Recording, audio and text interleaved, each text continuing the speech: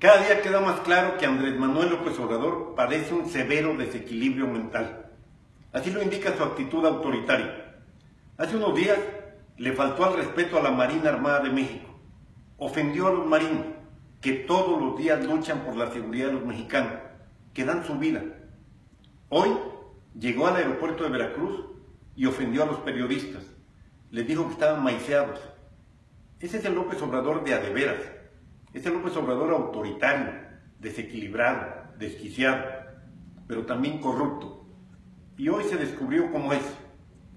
Se enojó porque di a conocer la bodega donde Duarte guardaba información. Seguramente le preocupó que ahí hubiera información que involucre a Morena con los hechos de corrupción de Duarte. Duarte les daba dinero a López Obrador y tú lo sabes. No voy a permitir que este individuo desquiciado y bocón siga de manera impune, ofendiendo, lastimando, sin que tenga respuesta. Si quieres, López Obrador, combatir la corrupción, no lo hagas frente a los micrófonos, hazlo frente a las autoridades, aporta pruebas, como lo he hecho yo. Yo sí he combatido la corrupción. Tú lo que has hecho es vivir del presupuesto toda tu vida y vivir muy bien. Eres un corrupto, eres un bocón.